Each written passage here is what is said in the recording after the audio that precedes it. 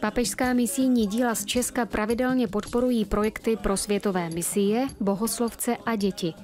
Aktuálně tato pomoc míří celkem do 21 zemí světa. Ačkoliv vzdělání je v Gvajaně bezplatné, chudé rodiny své děti do školy často neposílají kvůli výdajům za dopravu či jídlo.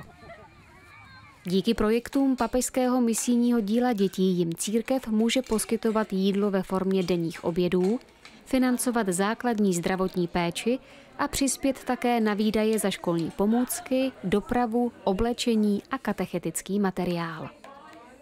V minulých letech tyto prostředky pomohly také uprchlickým dětem ze sousední Venezuely.